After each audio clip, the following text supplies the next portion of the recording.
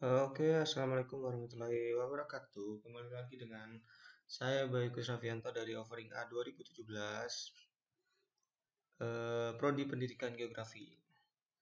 Di sini saya akan menyajikan tutorial atau itulah cara koreksi georeferencing bentukan peta melalui aplikasi ArcMap atau ArcGIS saya menggunakan versi 10.5 yang pertama adalah kita buka aplikasinya terlebih dahulu.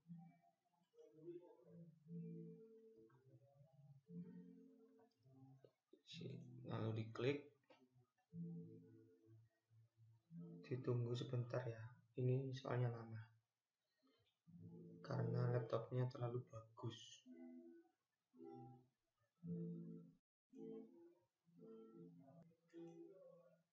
Oke, lalu kita masuk ke aplikasinya, kita silang ini karena kita membuat dari awal, jadi kita tidak butuh file yang ini nih ya. Lanjut.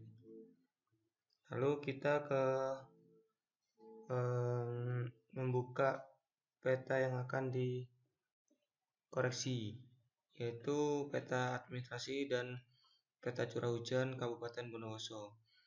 Yaitu kita harus add data terlebih dahulu kita cari petanya di peta administrasi.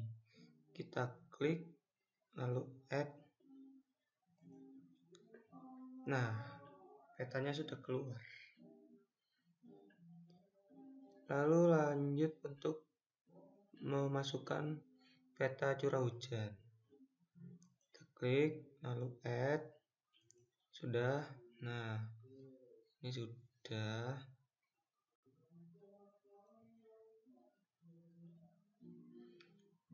lalu kita mulai untuk mentransparasi terlebih dahulu yaitu dengan cara klik kanan satu kali ke properties. Untuk kolom transparansi kita ganti menjadi 50% apply lalu klik OK.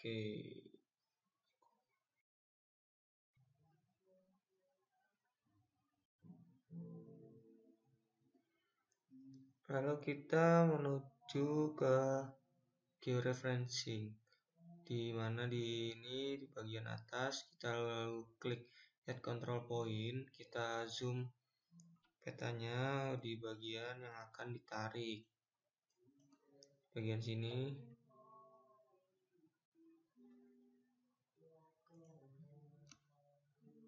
menuju ke sini. Ya sudah pas ya.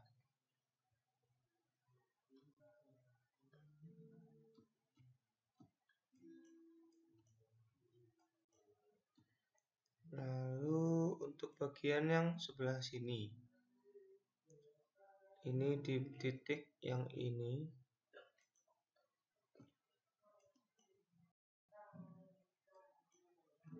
menuju ke bagian sini. Kita klik nah sudah cocok dan sudah pas. Peta kedua peta tersebut sudah pas menjadi satu peta yaitu peta administrasi dengan peta curah hujan. Setelah itu untuk mencegah hilangnya peta ini kita save langkah-langkahnya yaitu kita klik georeferencing kita rectify lalu pilih tempat untuk men-save data ini. Kita ganti namanya. Terserah dari teman-teman ingin mengganti nama apa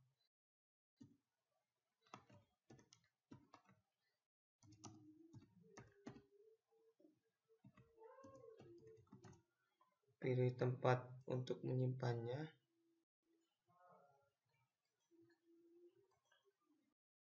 sini saja ya oke kita add Nah, ini sudah. Lalu kita save. Kita loading. Nah,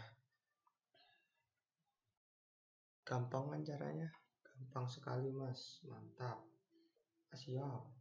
Nah, ini uh, tutorial yang sederhana, tapi jika ini ada kesalahan atau salah langkah, mohon dikoreksi teman-teman. Uh, saya di sini juga belajar dan ini tugas kuliah saya. Dan semoga ini bermanfaat buat teman-teman semua. Sekian dari saya, Chris Navianto. Wassalamualaikum warahmatullahi wabarakatuh.